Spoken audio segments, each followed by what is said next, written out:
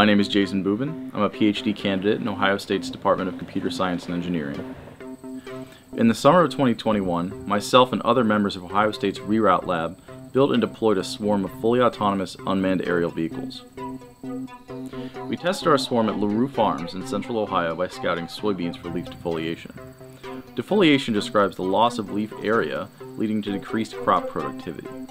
Soybeans defoliate naturally over time, but can be defoliated prematurely by pests like the Japanese beetle, leading to decreased crop productivity. Detection of defoliation allows farmers to implement responsible variable rate pesticide application, but conventionally requires manual scouting.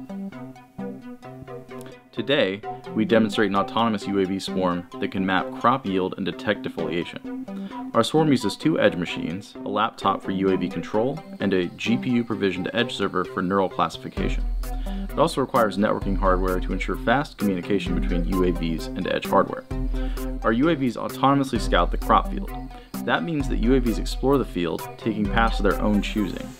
Our swarm uses reinforcement learning to autonomously sample the crop field.